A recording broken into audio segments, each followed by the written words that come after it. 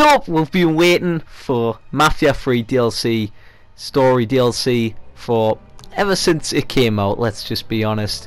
Well, we had such high aspirations for it, and then we had a live stream telling me what the story expansions were going to be, which were going to be Faster Baby, Stones Unturned, and Signs of the Times. But obviously, we didn't know when they were going to come out. So just to make up for the long wait, they brung out a few more DLCs like the outfit content, family kickbacks, which I already paid for, so I don't know why they brought it out for free. Kind of a fuck you to me. But customs, rides and racing, and judge, jury, and executioner weapons. But finally, we've got dates for these DLCs. Let's have a look into them.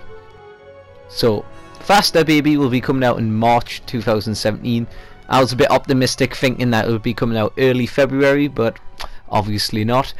Um, obviously, we don't know the specific date when it's coming out, like what day, but obviously I would be up to up to date with that. And whenever the answer comes out, I'll be making a video on that as well.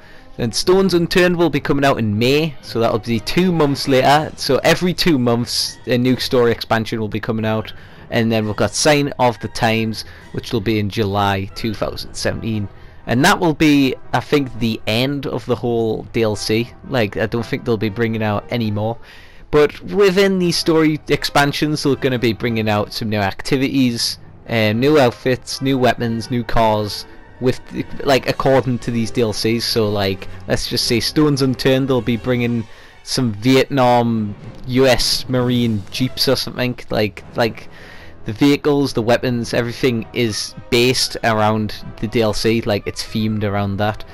So those were the dates for the DLC and let's just get excited for that because we've got Faster Baby coming out next month and obviously I'll be making a live stream on each of them and yeah, subscribe and like for some more and I'll see you in the next one. Goodbye.